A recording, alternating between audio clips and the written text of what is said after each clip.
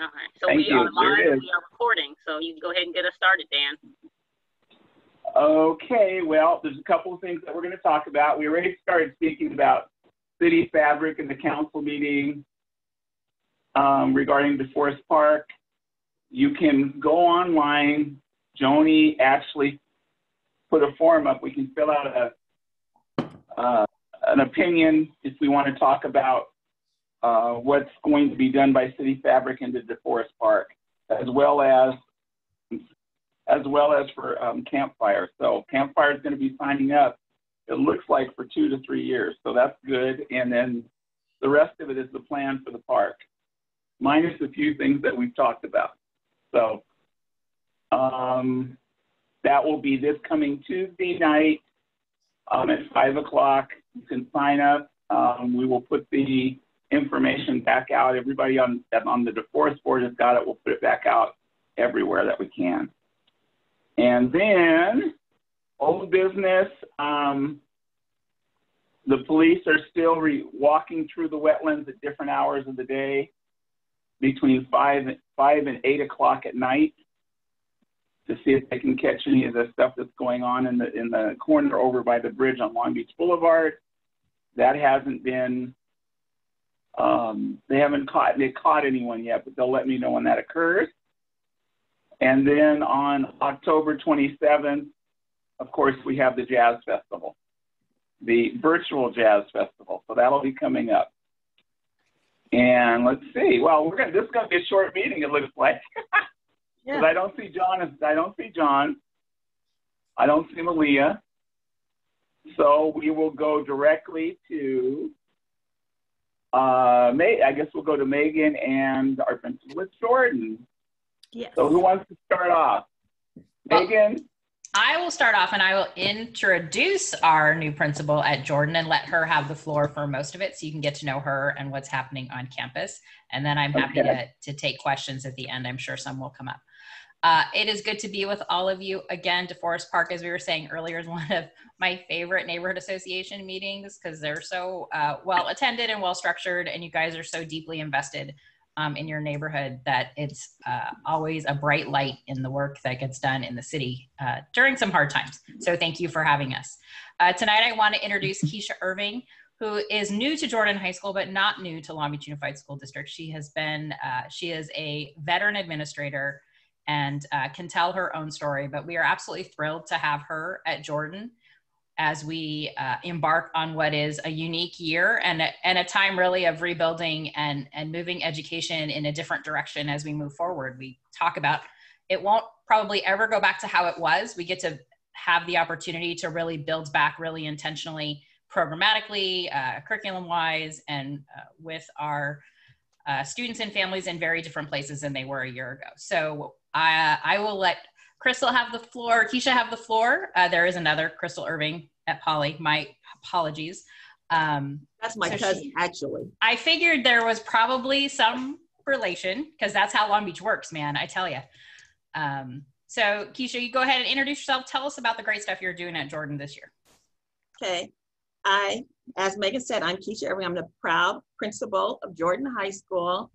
Not only am I a LBUSD product, but I was born and raised here in Long Beach in what some would call Central Long Beach, East Side of Long Beach, Orange, PCH, that area.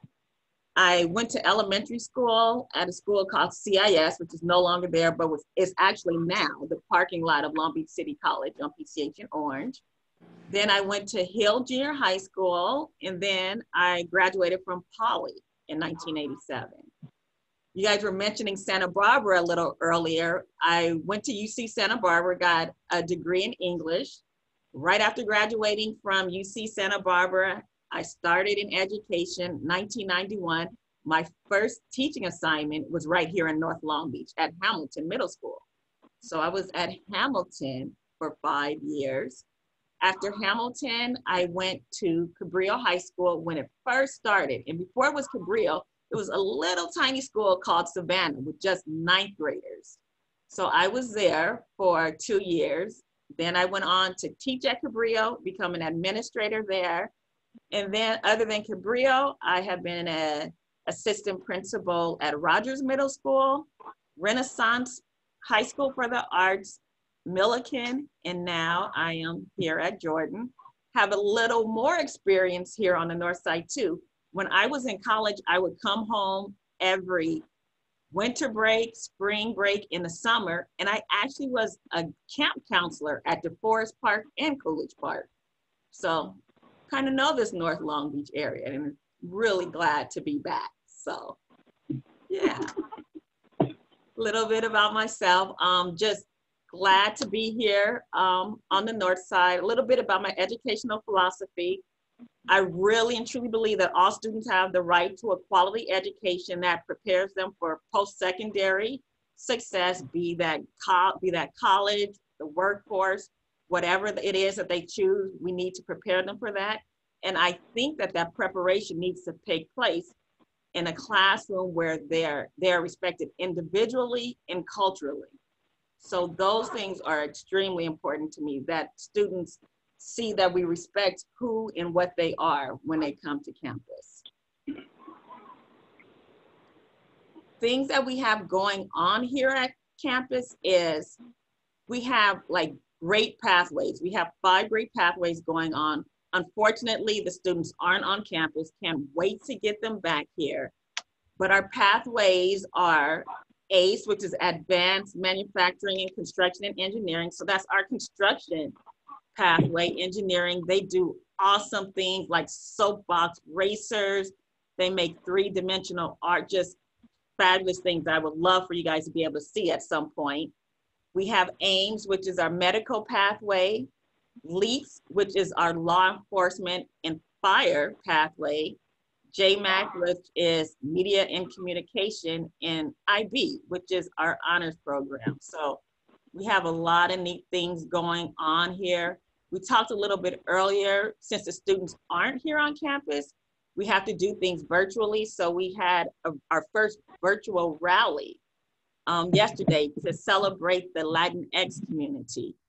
So we celebrated them and we also celebrated our students of the month. So we're looking forward to engaging our students and community as much as we can, not just now, but once the pandemic ends and we can get everyone back on campus. I was speaking with, I don't remember who it was earlier, but they were asking, as a principal of Jordan, what are things that we need from the community? So I've been thinking of that. And as I think of that, I feel as if we need guest speakers, we need mentors that reflect the student population that we here have here on the campus of Jordan High School. If there's any scholarships that are available, just let us know about those volunteers like come to our events. We want to show you all of the great things that we have going on on campus. So when we're back and we have any of our musicals or plays or athletic events, we would really love to see you there. Um, purchasing Jordan gear. We want Jordan paraphernalia and things out in the community. We want to show that Jordan pride to everyone. And what we really, really need is for everyone to be a cheerleader for Jordan. Because as we said before, there's some people who have certain perceptions of Jordan that go back decades. And we really want them to know that this is a fabulous place. And we have things on this campus that no other high school in the district has. So those are things that will really be nice. And I would love to give all of you a tour of the campus once the pandemic ends. So you can see firsthand what we have going on here, the beautiful buildings with the construction, the excellent educational opportunities. So you can speak to that firsthand to others that you see.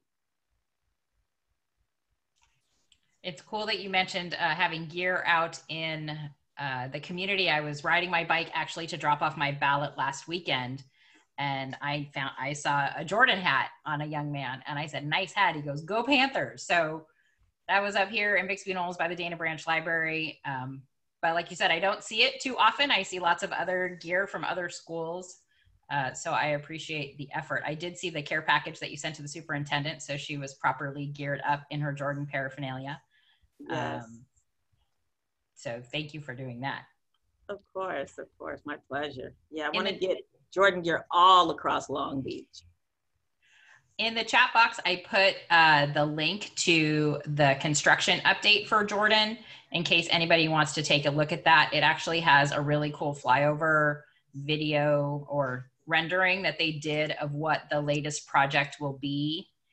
Um, that will be happening at the front of the school. As you can see, um, hopefully, you've seen the beautiful facade improvement on the front where they finished um, the administration building. They uh, finished the parking lot. They put up that very cool uh, marquee with the name.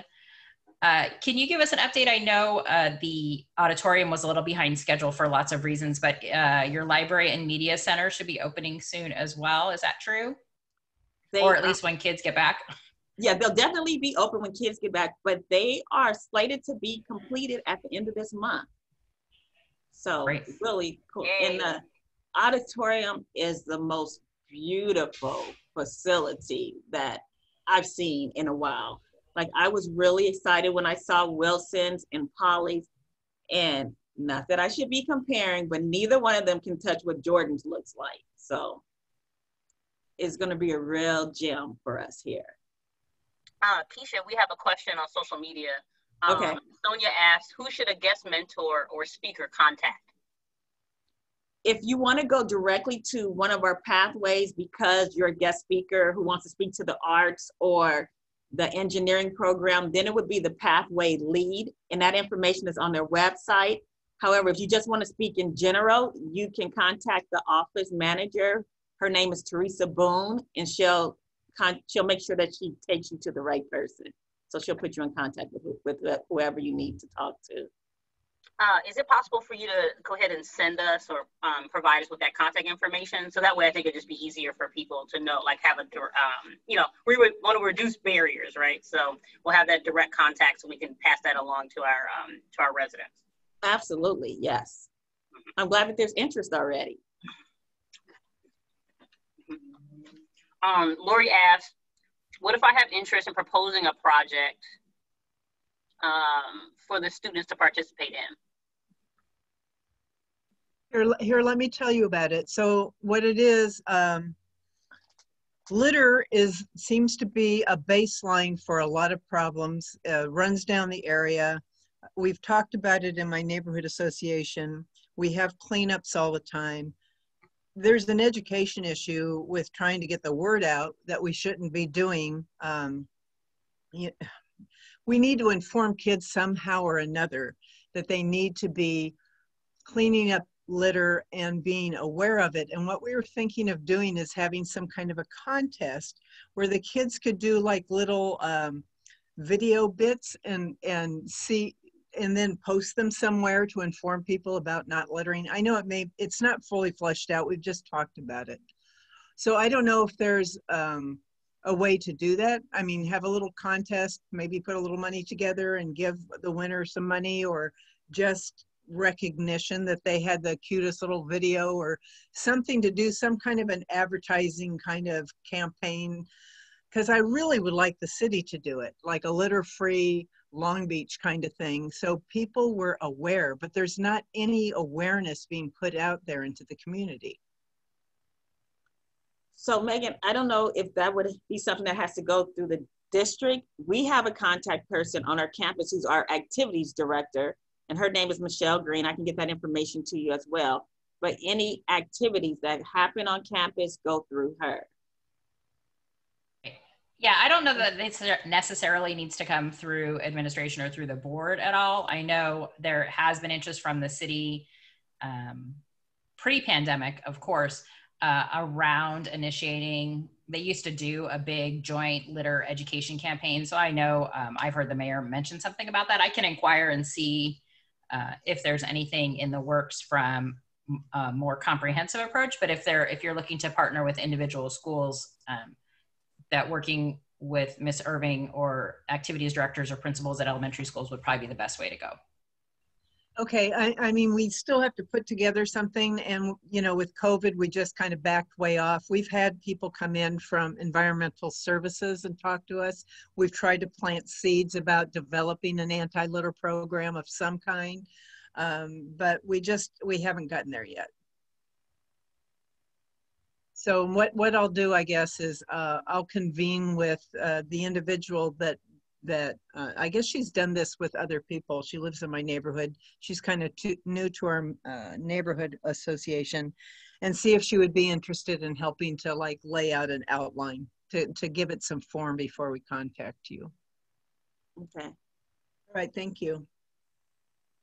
Uh, one of the other things that you can do to find out what's happening at Jordan, I put the, the school website in the chat box as well. But if any of you are on Instagram, uh, LB Jordan High School, and I will put that in the chat box as well. They have a great Instagram feed. Um, right now, it's mostly staff uh, dancing, not mostly, but there's some great uh, engagement work that they're doing to connect with students um, while they are not on campus. So uh, it, it has a lot of the activities. It's got the Panther out in the neighborhood, uh, bringing oh, gifts oh, nice. and balloons. Uh, it talk it gives schedule information. So if you're a kid, you can see that you had an asynchronous day on Wednesday. Um, uh, former principal Alta Cook, who was the principal years ago, uh, was there for a visit. So there's a great picture of her on there as well. So if you're on Instagram, I highly recommend um, following any of the local schools. They are really trying hard to use that as a tool to connect with the community as well. And our ASB just started a Twitter account, Jordan High School ASB, last week. So that's another venue as well. What does ASB stand for again? Associated Student Body. Okay. Um, I have a question. This is Joni. Um, Ms. Irving. Um, besides kind of, you know, getting out in the community and, you know, I know you talked about kind of, we, you and I talked about dispelling kind of some of the people's previous experiences, you know, getting people to wear kind of the paraphernalia and get kind of the name of Jordan out there. What else would you consider to be maybe kind of challenges that Jordan is facing currently? and maybe, and then also how we as the, the community can partner along with you um, to help address that. Huh. So in my three months with no students here, right. I would say, and, and I don't know if you can do anything about this, but just just making the students feel connected to the school. It's really difficult for them when they're at home and they're being educated via a computer screen and and we do the best they we can the teachers do the best they can but it's just not the same connection that we could have or we want to have with them so that's the biggest challenge that i see right now other than that I really haven't had the opportunity to see how the campus operates in full, so I can't speak to that right now. But again, all I really know at this point is I really want to dispel the misinformation that is out there about Jordan. Thank you. Yeah. I've found that this group can be a great cheerleader for all things North Long Beach, especially our community and our kids. Um, you know some of the things that people need to dispel are from other parts of town who make assumptions about who we are and who our community is in north long beach and and ms irving you've been engaged in north long beach long enough to know that that's not unique necessarily to just north long beach the west side um, can also have some of those same uh, assumptions that get made about our students and kids and i think everything we can do i think that's one of the reasons we do the the banners on the on the polls around graduation time, anything we can do to call attention to the great work um, and the great kids we have at Jordan is really important and appropriate. And it is tough right now. I will not um, lie. We all wish kids were in school. Uh, probably nobody more than, other than parents, uh, principals and administrators who really understand that this is not the ideal situation. Uh, it's no, it's not where any of us wanted to be. I don't think it's where any of us expected to be. I know I expected this to be handled a little more appropriately at a federal level so that we weren't here um, in mid October still having to stay away from campuses. Um, so, understanding that the connection to each other and community is difficult but really important. And for as much as kids spent time on the computer before and connected through devices, the times that I have seen kids in person, and I've heard this from other uh, administrators and teachers, there is a real longing for a physical connection. So when you see our kids out in the neighborhood um, after school hours, say hello, ask how they're doing, how's school going, something that makes them feel seen and that people understand this is a really tough time uh, for kids. We know it's a tough time for everybody, but we are uh, very well aware that from an emotional standpoint and a mental health perspective, this is tough on kids who are struggling uh, potentially anyway. We know have we have a number of, of families in North Long Beach. We know North Long Beach is disproportionately impacted by COVID for lots of reasons. We have lots of families that are essential worker families, uh, lots of kids who have been working to help support their families because other family members have lost jobs. Um, so there's an awareness and a sensitivity to to our neighborhood and our community at this time that it's not ideal. So when you see kids, I know uh, it's easy to pick on kids, especially when uh, they are were perceived that they're maybe they're not acting appropriately, but making them feel seen and loved and appreciated, and just checking in on them whenever you happen to come across them would be really great. Um, I have a suggestion, piggybacking on what Lori said about doing the um, trash pickup video. I know that you're all saying that um, maybe start at, at the elementary school level. That is more akin to the older kids because that's what they do. And if you give give away a gift card or something to these kids, they're going to respond. Maybe we can attach it to something because we didn't get to do the teen summit this year. Maybe we can attach what Lori's saying to that to keep that out in front of the kids, but also give them something to do that they're already doing, but an incentive to keep to get them to go further with it. That's just my thought. Not a bad idea, really. I mean, um, what we were thinking it would engage them, allow them to be creative with some kind of a video. You just use your phone and take a clip for a minute or two, and we could post it in our North Long Beach uh, group pages that we have, you know, or what, whatever. I, I, just, it would give them some visibility. It would give them something to do. Um, and I mean, basically, it's just laying out the parameters, what we're trying to accomplish, and what the rules of the game would be. But, but that's the thought. I mean, the idea is to make it kind of a creative, fun kind of exercise and in a way you create community that way too right? Like you connect the students who are all kind of engaging in this and watching this and looking at their peers. And you know particularly i think particularly for the you know the freshman class right? Who haven't gotten the opportunity to see anybody right? Like this is their first year and they haven't gotten the chance of being on jordan's campus and seeing what that feels like. So anyway i think that you could create community um, in that space i think is a is a is a wonderful idea well, and then maybe we could even have a class competition. So juniors, you know, sophomores, whatever. It's just a thought. I, I just think it's um, it kind of gives them something to do that's not too awfully difficult, but that it could be very helpful.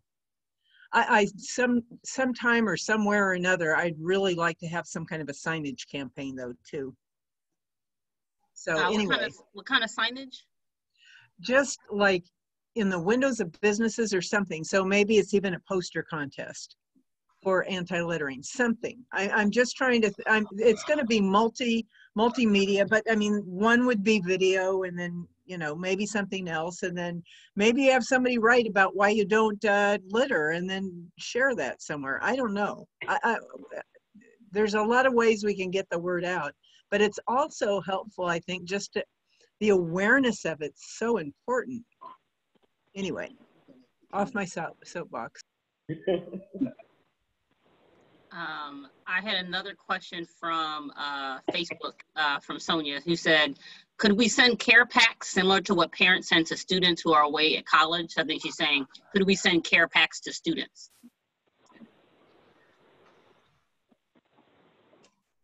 Care packages in, in, in what sense? What are we talking. I guess I, I guess the idea because we're I think Megan was mentioning about you know the fact that you know kids are kind of isolated, maybe they have needs, things like that. So I think Sonia was just mentioning like would it be would it be useful um, exercise to try to send them you know care packages or maybe even just something you know care packages of something fun or interesting or I don't, I, I have no idea what we would put in the care packages that might make them, you know, feel a little bit more spirited or connected to, to, to Jordan. I'm sure we can brainstorm some ideas, but I think that's thinking. Mm. Yeah, I think I- that's, Go ahead.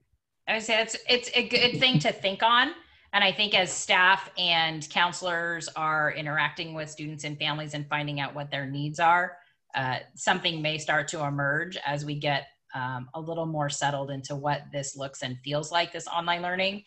Um, so I would imagine that if staff, I know they're doing a ton of different things, uh, could could keep in mind that there's a community in Miss Irving that is willing to do some support work. So if you had a, a family or a student that had some specific needs, that perhaps reaching out to Joni, who could network with the community to come up with some of those things and and drop off them at school for people to be able to pick up if they were needed would be really uh, one way that they could connect. Yeah, definitely. We would be happy to, to do something like that. Miss Irving, I know, um, and I cannot remember where I saw it this week, but you are posting the student updates, the videos that I'm assuming it's our JMAC kids are doing. Yes. Uh, where can we find those? I was just trying to see if I could find them on Twitter and I didn't. They are on the Jordan web page. I, let me take a look here. I know he sent us an email.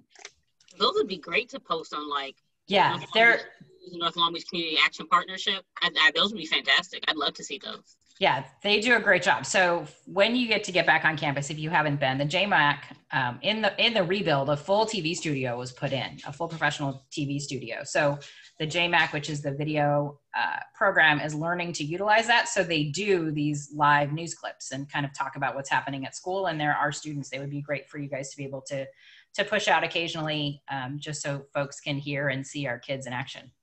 Yeah. I think we need many more opportunities to interact with people of all ages and ethnicities and parts of town. I just think we really need more opportunities to do that. It's hard in an environment where we have to be isolated. But so video and Zoom are helpful, but I don't, maybe there's some kind of a program or a situation that could bring people together on Zoom. Like maybe we talk about a topic, a neighborhood topic or something. It, it's just a thought because I don't have any real connection to to the kids at all, other than my neighborhood kids, right? So I I don't know. I I think all of us wouldn't mind participating one way or the other. Did anybody participate in the uh, Adopt a Senior?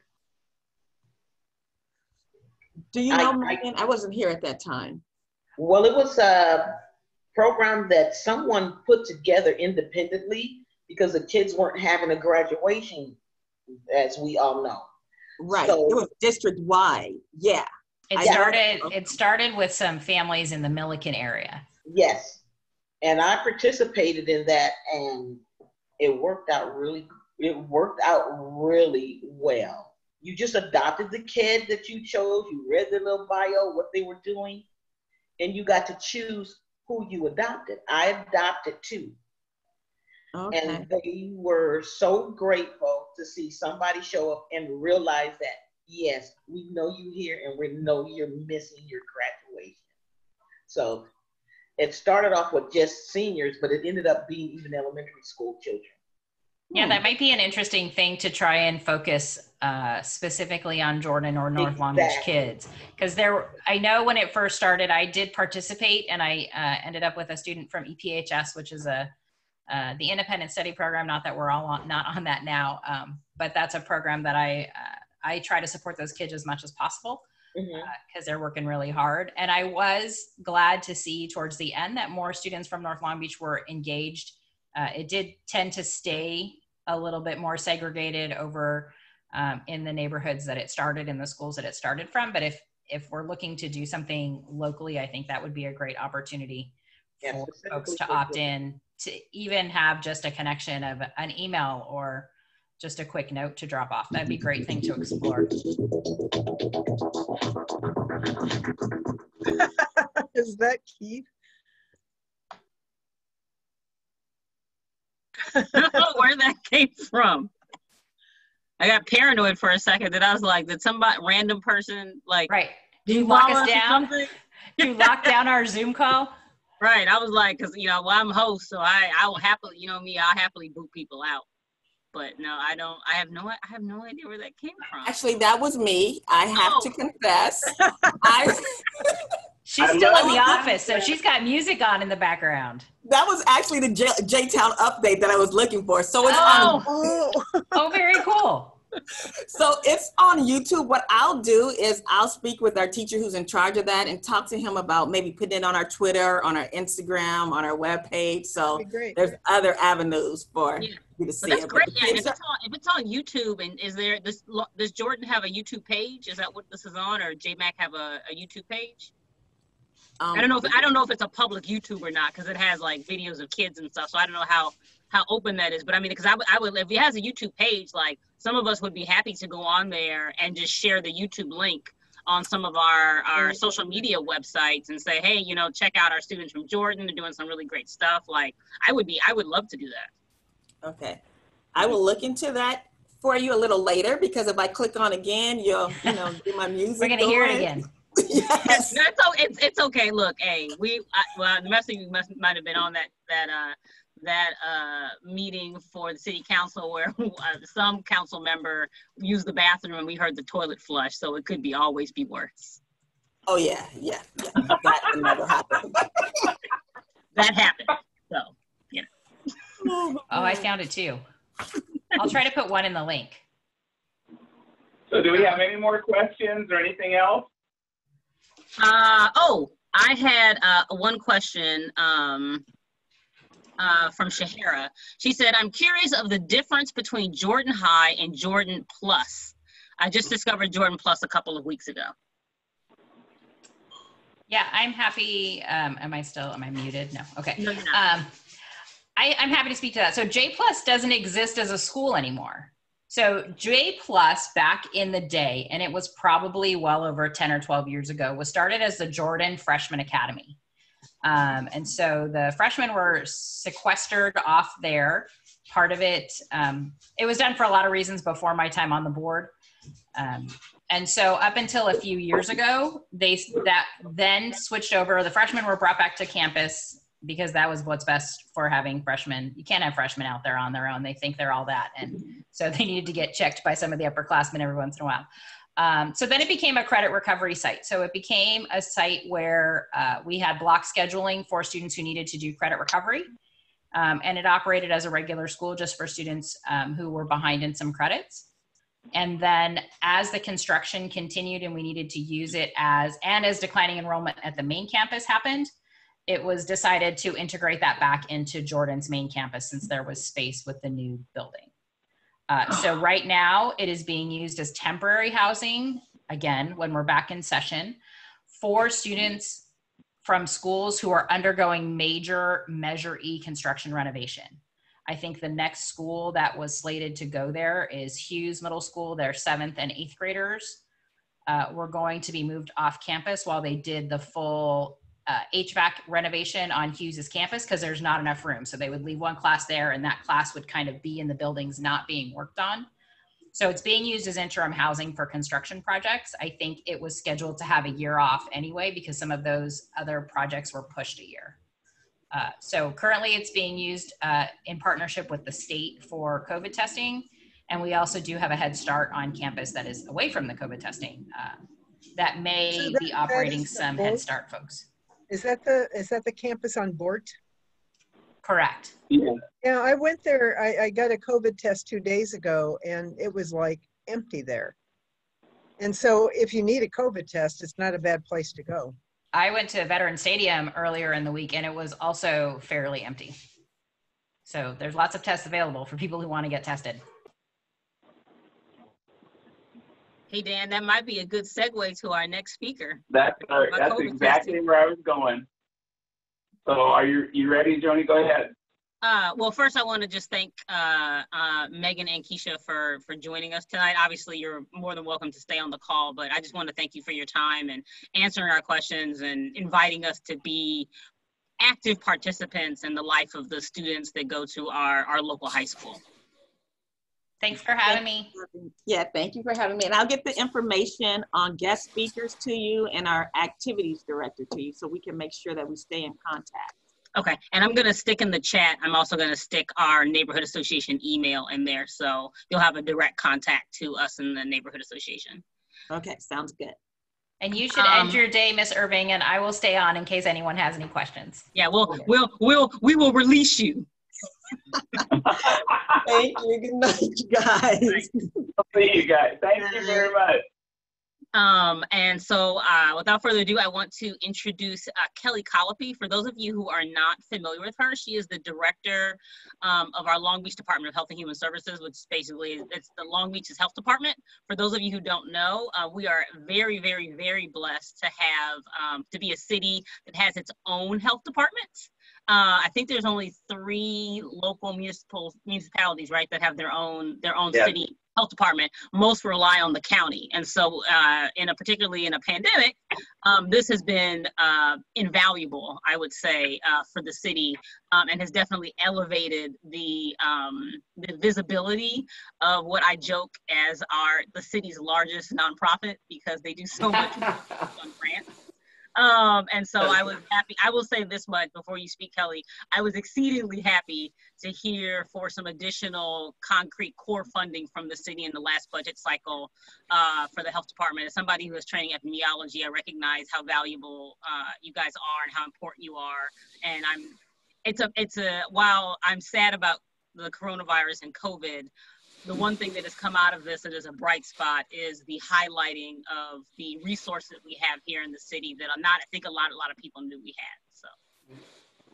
Thank you, uh, and good evening, everybody. Um, can you hear me? Yes, we can hear you. All right. All right. So I just wanted to, um, one, just uh, let you know, so our health department right now is we have about 40 programs. And a lot of people don't know that we have 40 programs in our single department. Um, you know, and as we were just discussing, uh, most of those are grant funded. Um, so we do, uh, we run over 100 grants uh, in our effort to, to do all the work that we do. And, you know, those programs run from, um, you know, community health and all the, you know, healthy eating, active living kind of things. We run clinics. Uh, we do family planning and HIV and STD and tuberculosis, as well as all the immunizations. Um, we've, we, uh, we're doing all the public health emergency management and all the surveillance, the things that are really being highlighted right now through the, uh, through this pandemic. Um, we also run the housing authority and homeless services, um, as well as the violence prevention um, and the upcoming youth strategic plan. So we're everywhere. Uh, there's a, we have the Black Infant Health Program um, and WIC um, and all the um, enrollment in, in insurance. So Medi-Cal um, enrollment and those programs also fall within our bailiwick. So we have a lot of different opportunities. Um, we normally have nine sites. Uh, we do have one in Houghton Park, except that it's been closed down for the past year and we are rebuilding that. So the inside of the Houghton Park site is going to be beautiful. We're so excited. Um, I'm actually going to be taking a tour. I know I'm so excited. We're going to take a tour next week. It's completely in, in demolished on the inside, but we're going to start picking out what the inside looks like. And so that's really exciting for us. And we are putting um, two new clinical rooms there to bring testing and other things um, to that site, as well as our Center for Families and Youth. Um, we were just refunded to do our fatherhood program, which has been highly successful, where we work with fathers, uh, fatherhood skills and job placement skills and, and others, and they bring their kids, and it's a really cool program. So uh, there's just a lot going on overall, and, and uh, while this last six months uh, in this COVID response has been, you know, has shattered most of our lives in the way that we have normally lived them, right? Everything is has taken over in a very different way. And I will tell you that for the health department, it's completely shifted uh, our, you know, much of our focus. Uh, we've reassigned over 100 people in our department to take over to participate in the COVID response. Um, so it's been an adventure for all of us for sure. Um, but I wanted to just provide some just updates. Yeah. Someone ask, want to ask a question? Okay. Um, so I wanted to just provide a little bit of an update on our COVID, um, and then happy to answer any questions that you have. Um, so we have, uh, as of this morning, 12,547 cases uh, within our city. And that's led to, um, that's about 30 today. At the height of the pandemic, when it was really, you know, just in July, we had up over 200 a day. Um, and now that we're back down to 30, I have to tell you, I feel a lot better about it.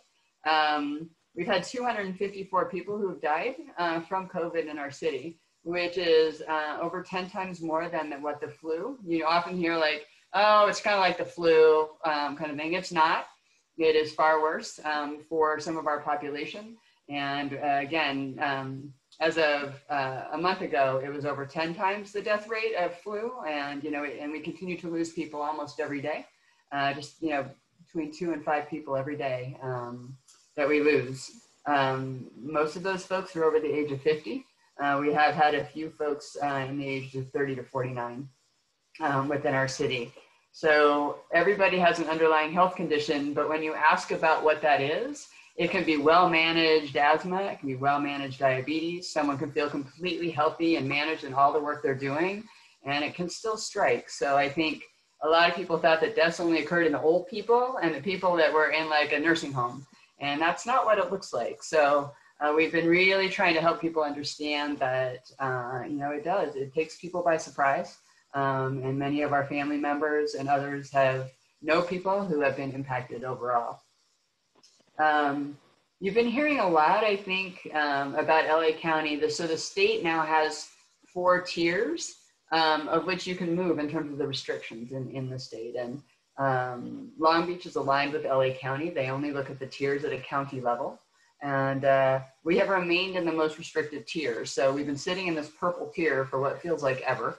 Um, and we have to move, our numbers have to hit a certain mark um, to be able to move to the red tier, which is your, your less restricted tier. Um, and so you have to have a, a case rate per 100,000 of under seven um, and a positivity rate of under eight. Our positivity rate is great. It's in the 3%. We're feeling pretty good about that. But the case rate at the county level continues to be in sort of the mid sevens. Um, we had a, saw a little bit of a bump after um, after Labor Day, not a spike, but a bump. And it was just enough to, uh, to keep us in there. So we're working real hard to try and bring that below the seven, uh, which will allow for more things, uh, more things to open. Um, the state did, though, just announce and release guidance around gatherings. So the state order has said no gatherings unless you are related to a business.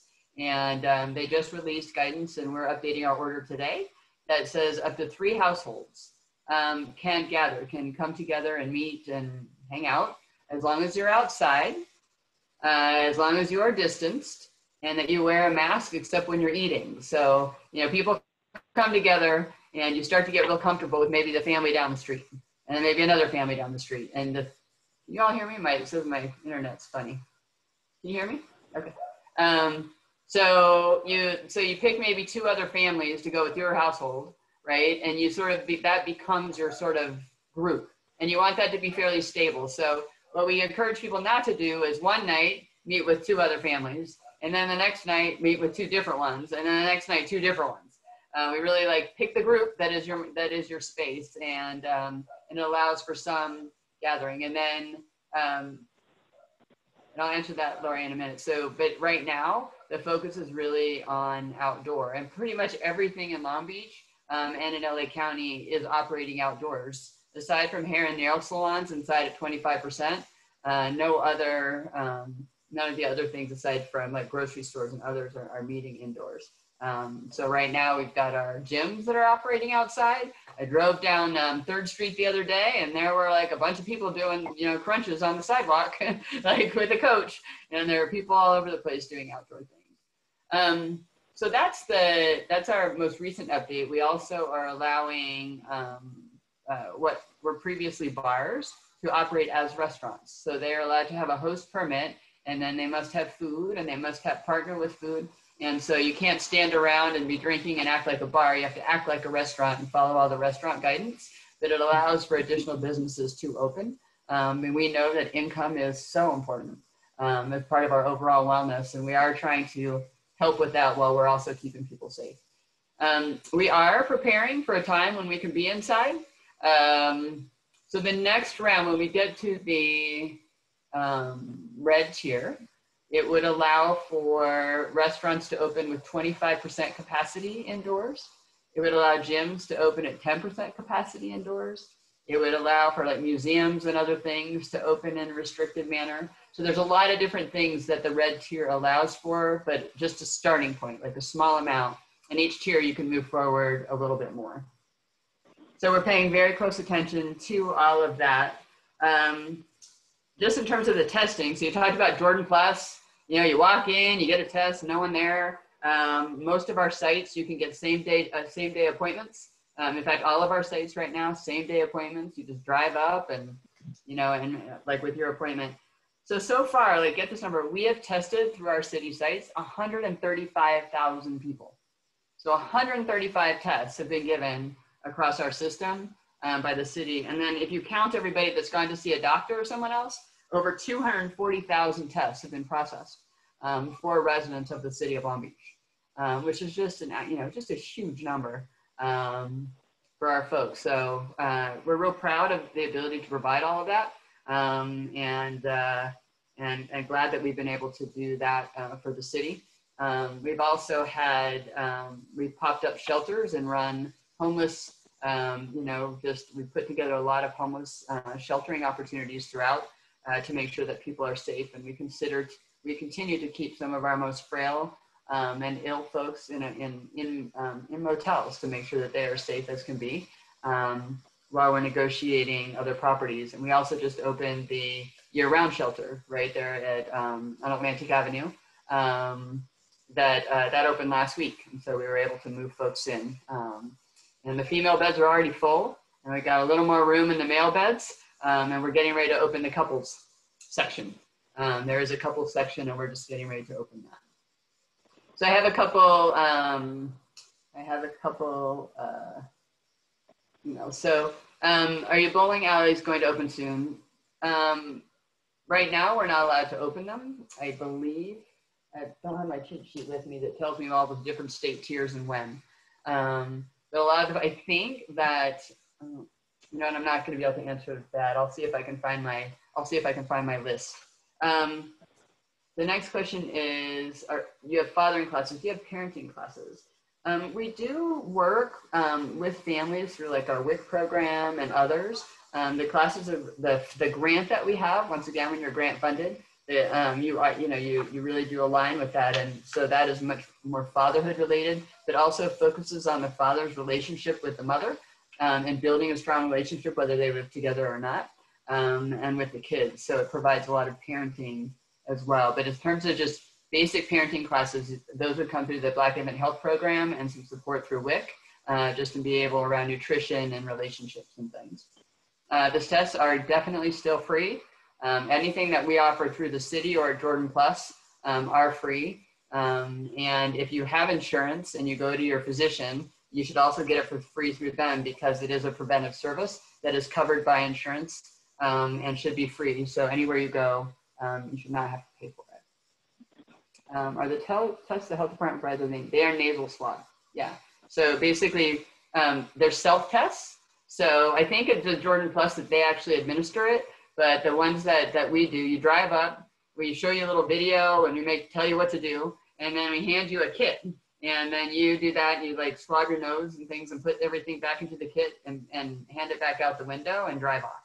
Um, so that's how that's done. And then we deliver those every day to our lab who processes them all. Um, the good, the cool thing is, is that lab is now going to, um, they're also going to test for flu. So a lot of times people might show up and they think that they have COVID or they have they have some kind of symptom and they're not sure what it is. And so we'll test. Um, the lab called and said they also had that capacity. So anyone who gets a COVID test will also get a flu test, and you would be notified if you had the flu, uh, just as you would be notified if you had COVID. And uh, we love that one for everybody who gets the test and knows what's going on. But two, because we get a lot more information than we've ever been able to learn about flu in the meantime um, which is really great opportunity for the health department and our surveillance um, around the flu. So we're really excited about that partnership. Uh, who administers the test at CSULB? For their students or for, or there's a test site there that's like a Kaiser site or something. Which one are you talking about? Oh, must be the Kaiser site. So there is a Kaiser site there for Kaiser patients that's using the Cal State campus. Oh, okay. Um, but for when there was an outbreak at Cal State Long Beach, and we our mobile testing clinic did all the tests there. Thank you. Uh, the turnaround time for the test result um, is under 48 hours, and they're often coming in within 24 hours. So really quick turnaround time um, for our test sites right now. Uh, I did a test it's in. There you go, 30 hours. Um, so you know, it's uh, when we set all this stuff up, you know, it came and it came so fast, and the tests weren't available anywhere, and we had 25 tests available in our public health lab. And that's what we could handle given like all the machines that it took and everything. And now we're up to the point where we have the machinery to do at least 300 um, lab tests in our own public health lab. And so we are supporting like a skilled nursing facility or others. Um, we'll run those um, and then we do now have a mobile testing van so that van drives around and so if you are an older adult who can't leave your house or a skilled nursing facility or sometimes a, a homeless shelter then they make an appointment and the van goes there um, and does the testing. Uh, we also are doing um, pop-up test sites. So we just did one in Washington neighborhood on Wednesday. Um, we'll be doing one in District 6 um, at the, um, in Cambodia Town, and then we'll be coming to North Long Beach. Uh, it's an elementary school. I'm trying to remember the site, but if you get on the site of the mobile testing, uh, you'll It's be at- able to see, what's that? It's at Grant. At Grant. Um, so, um, so we are making sure we're really looking at our maps and where we're seeing increased uh, cases, and we want to make sure that people have easy access, A, but also really trust the process. And so we're working with other um, community-based organizations uh, to really engage and help people get to um, help people get uh, to the sites. Um, we do have um, Spanish speakers and uh, Tagalog and Cambodian speakers who um, who are there to help uh, translate if needed uh, at the pop-up sites.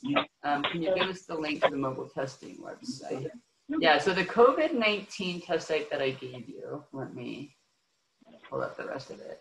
Um, if you go to that COVID-19 test site and you go down to testing, um, let's see, I had it up. So I'm gonna muck around here for a minute with my, in the background with my, um,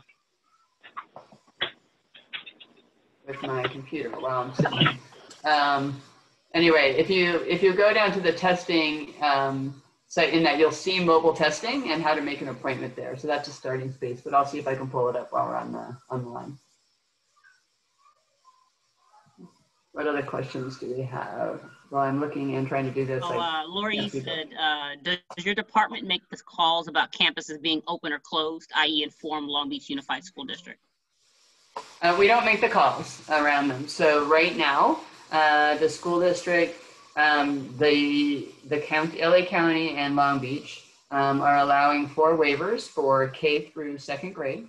Um, there is a big process that the schools uh, go through. There needs to be mitigation plans and testing plans and a lot of things, and so um, that is allowed. So. Um, and then there's also through the school district an opportunity without a waiver is to open special services.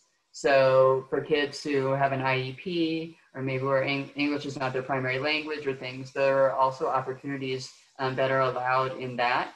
Um, because we're still in purple, um, which is the most restrictive, we can't just open schools like we're not allowed to, um, but per the state. So the only way that we can be, that any part of the school can open is either the specialty services or the waiver program. Um, and then we, you know, we did um, we did launch the waiver program, and we are processing them when they come. Uh, in the end, the state has to approve it. So we look at it, we think it looks good or not, or we tell you to come back and answer some questions. But the state itself is the final authority on whether a school itself, at this point, can open um, under the waiver program. Uh, we do contact tracing. Yes, we investigate every case that comes in. So we call that person.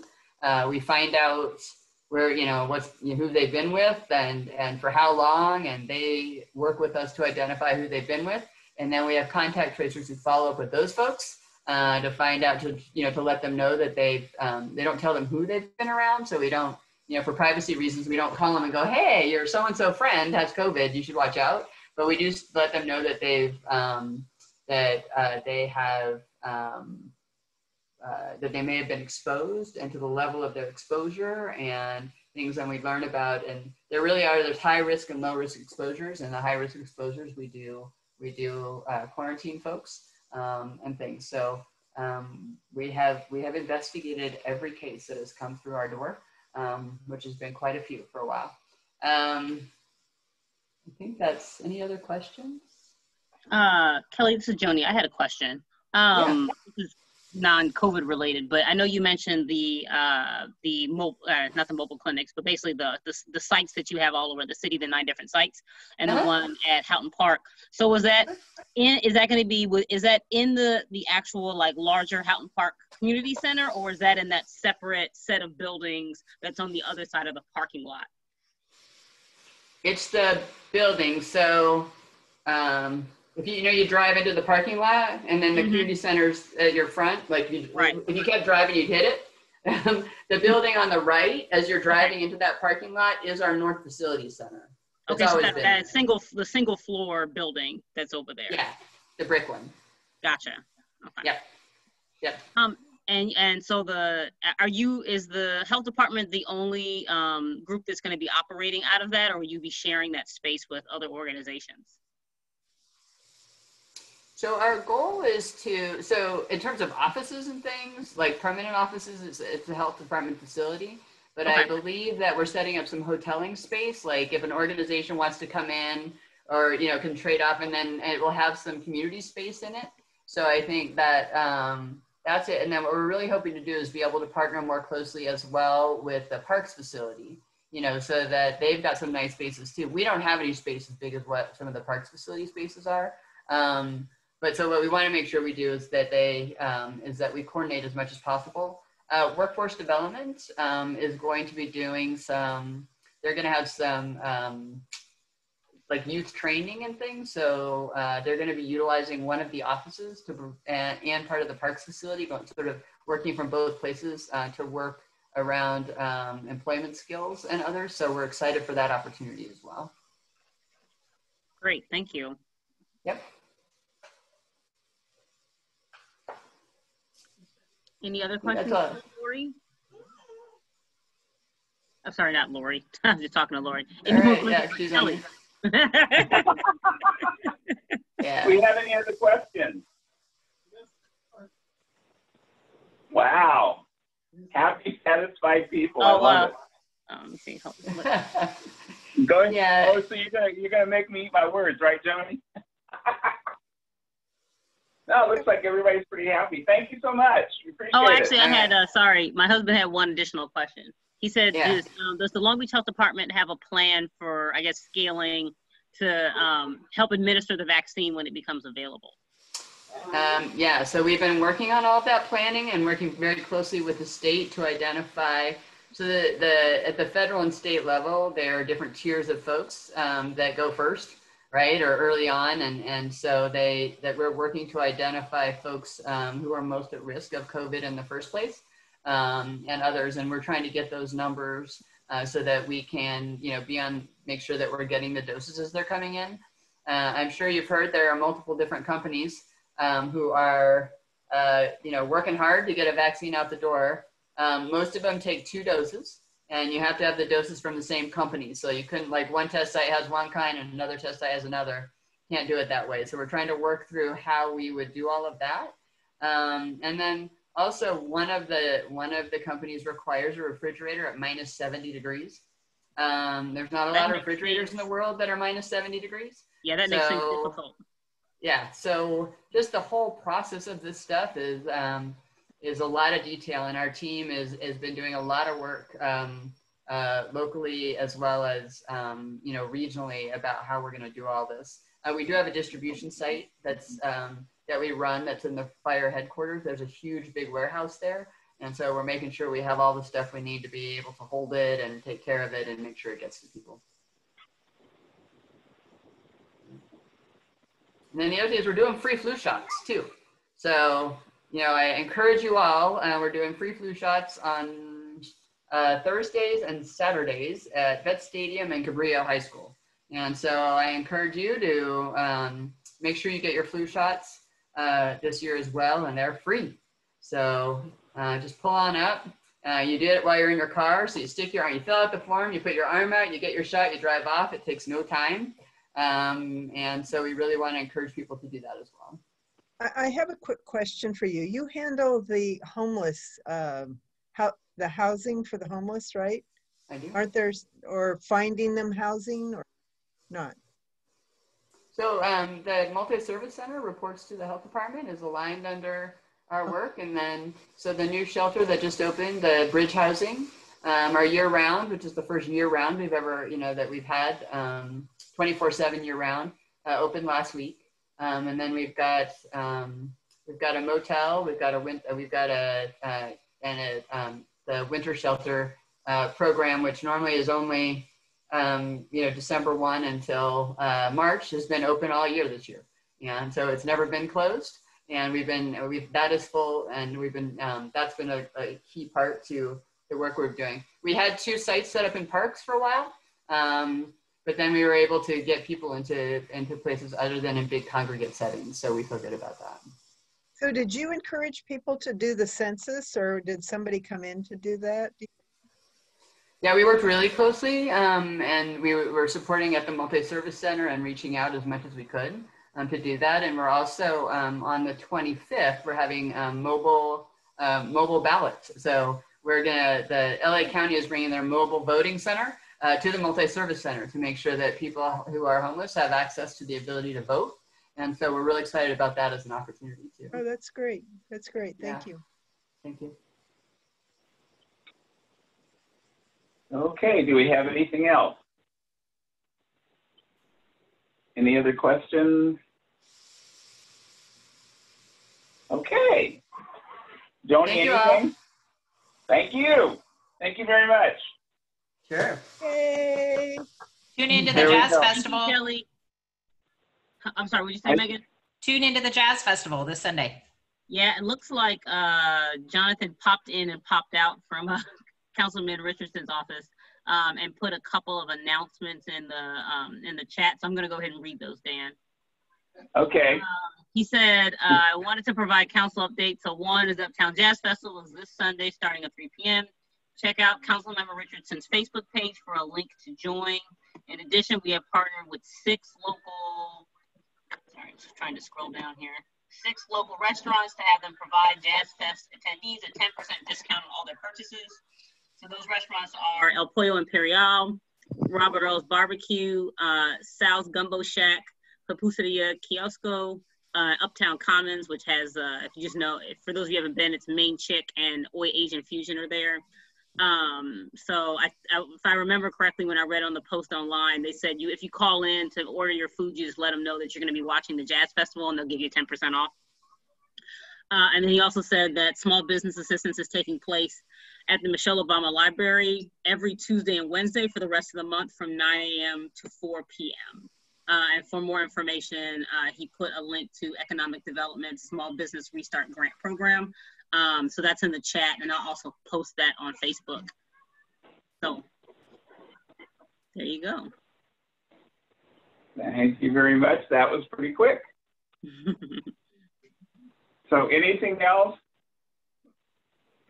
I will entertain a motion to adjourn. We're right on time, actually. I'll make a motion to adjourn.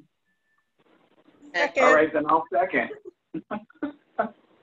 I'm not on your team. I mean, Anybody that's here votes Lori, it's fine. Oh, Key said he'll You second. adopt Everybody, okay. especially you. Said he'll second, but thank you, Lori. Okay, Second. that will do it for this evening. Thank you very much, everyone. Thank you, everybody. Thank you. Thank you. Thank you, Lori. Thank you for joining It's us. good to see other people, you know, it's good to see somebody besides